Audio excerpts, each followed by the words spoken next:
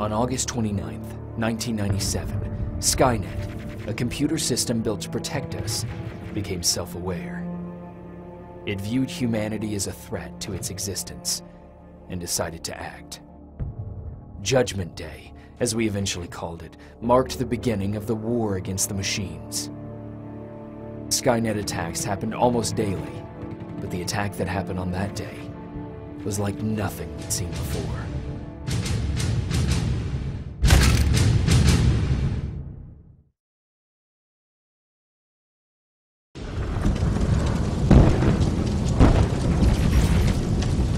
Come on.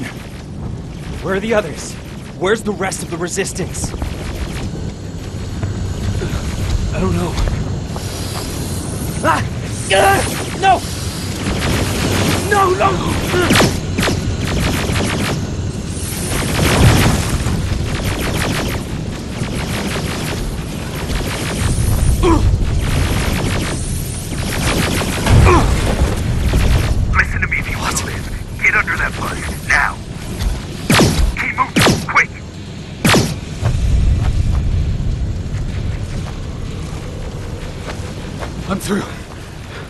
This is Private Jacob. I know who you are.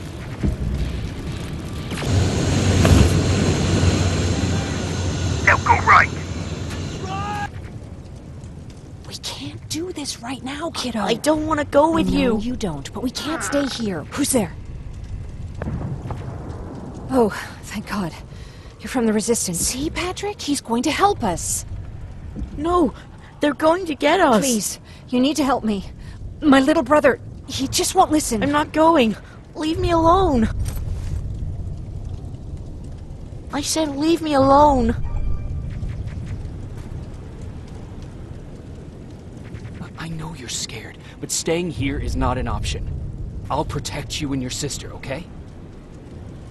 Okay. Thank you. I'm Jennifer, by the way. I've heard there's an evacuation point near here. Yeah, I know. My people are organizing it. We're heading there right now. I'll take us there. Come on, let's go. Terminators! Get down! Get down! What's going on? They're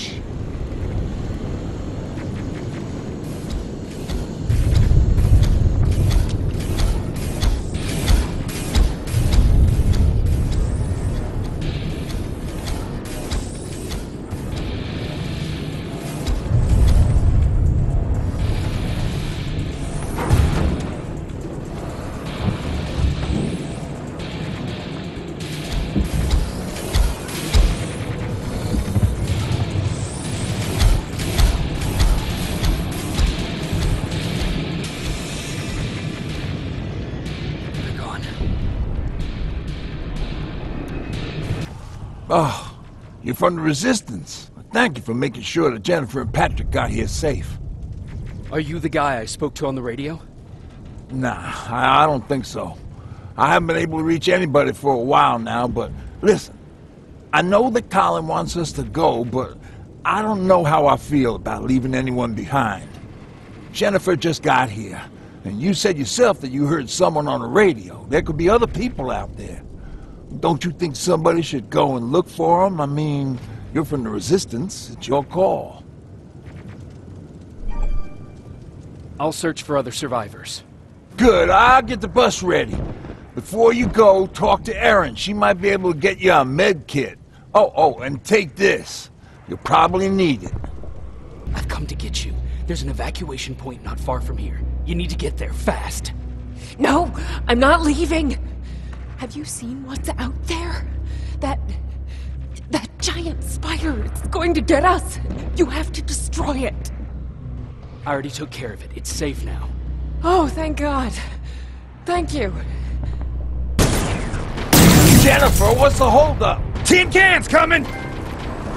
Jennifer! Get in! Go, go, go! We're getting out of here.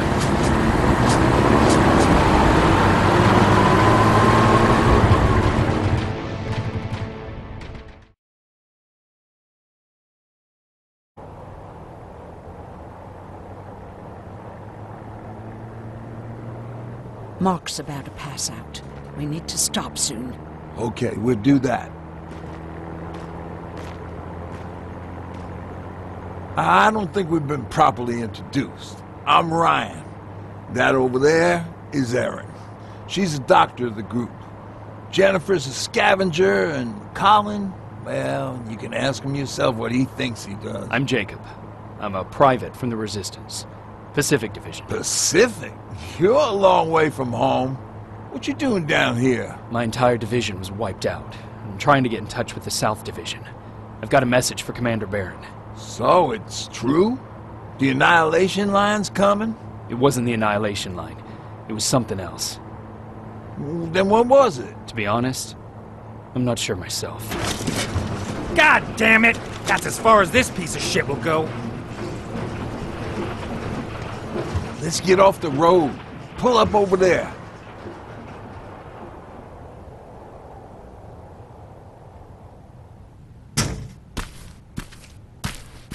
We got some time on them, so let's not lose our heads. I'll be on the fucking lookout for tin cans. Erin, you do what you think is best for Mark. I'll see what I can do about the bus. Jacob, it might take a while, so can you look inside and see if it's safe to stay? Sure. Jennifer, would you help me? Sure.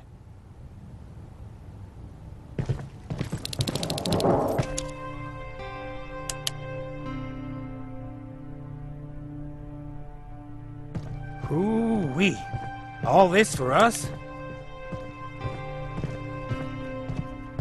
Oh, did I startle you?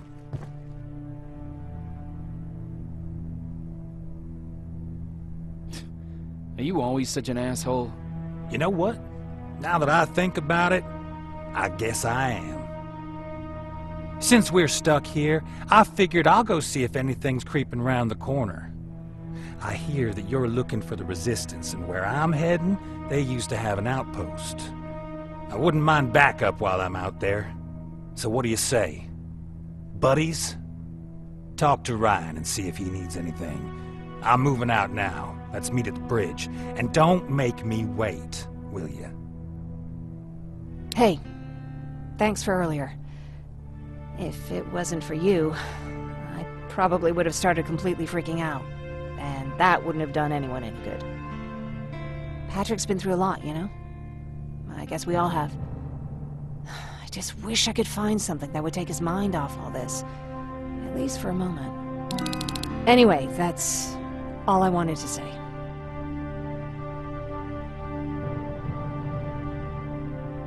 Were there any resistance in Pasadena? They were stationed just outside of town since I can remember.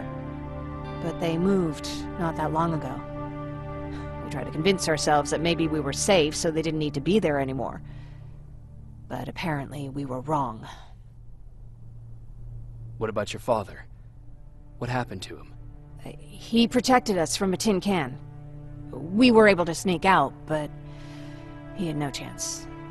When I looked back, he was lying there, dead on the floor. Look, I'm sorry. I, I don't think I'm ready for this. Seems a repair might take a couple days. How's it looking inside? There's a lot of supplies there. Looks like someone left them for us. Nah, seems too much of a convenience. Better keep your eyes open.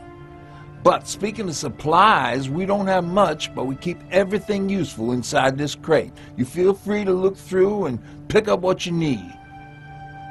Listen, I know that finding the resistance is your number one priority, but if you stumble upon a set of tools while you're out there, please bring them to me, okay? I must have lost mine during the escape. Good luck out there. An attack order signed by Commander Barron. And it's only from a couple of days ago.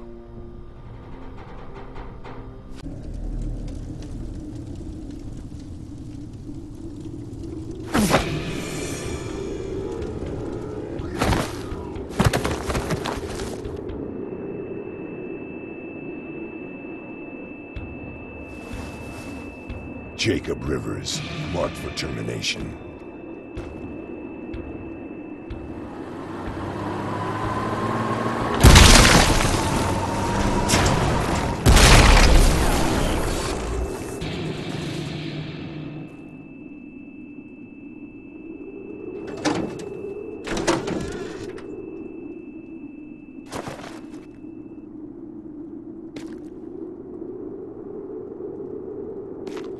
Are you alright?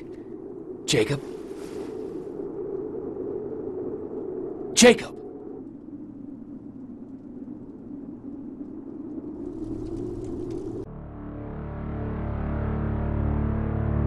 Hours later, they found me lying in front of our hideout. I made it out alive, but not all of us did. Colin's dead, and the stranger I saw is nowhere to be found. I told them about everything. I said that it wasn't safe for them to be with me. But Jennifer suggested that right now, nowhere is safe, so we might as well stick together. Everyone pulled through as we prepared for the worst. But nothing happened.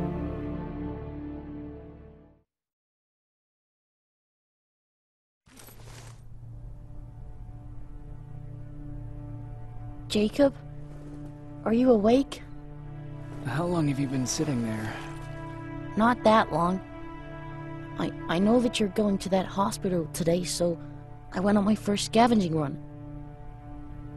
And I found something for Oh. you. Thank you. You're welcome. Did you go with your sister? No. As soon as Erin heard that there's a hospital nearby, she asked Jennifer to go look for some medicine. So I, I went alone. D- don't tell her that, okay? She's already at the medical district? Yep.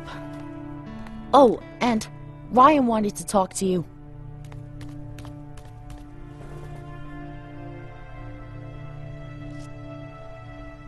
Morning. Patrick came to me earlier, asking if I thought you'd like his present. When I saw that it was a single bullet, I wasn't sure if he was being helpful or if it was a warning. I figured he didn't appreciate you looking at his sister like that. How's Mark doing? Not great. We barely have any medicine left. But hopefully, Jennifer will bring back some antibiotics from that hospital. How do you feel about Colin's death? What do you want me to tell you? That I feel guilty? That I care?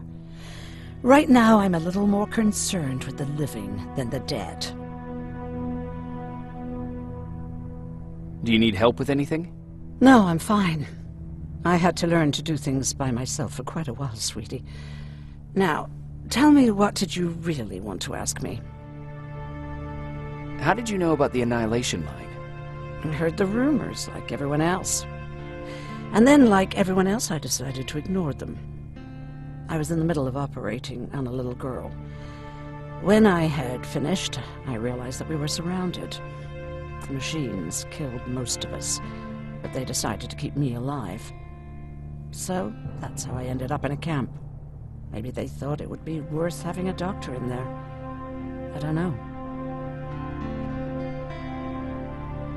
What happens at those camps? People get tortured, experimented on, cut to pieces. I couldn't watch at first, but I soon realized that I had to do what no one else could. I had to bear witness to the atrocities. You're actually the first person that wasn't afraid to ask. They're all scared of me, like, like I'm carrying some sort of disease. But they're still coming to me for medicine. Ironic, isn't it?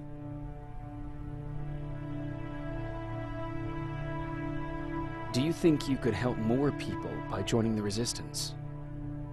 Honey, maybe ask me that question when you finally find them. Because for now, I don't think they even exist. About that camp. What do you want to know?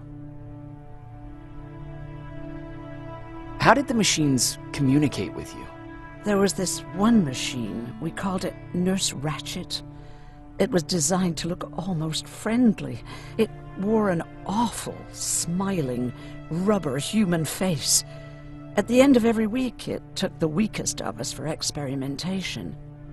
My cellmate, Karen, was pregnant. I knew that was a one way ticket to the grinder, so I had to plan an escape. What was your plan? I figured our best chance of getting out was with the bodies. That way, hypothermia was the only thing we had to worry about. The baby came early, and Karen died giving birth. She didn't even get to see her child.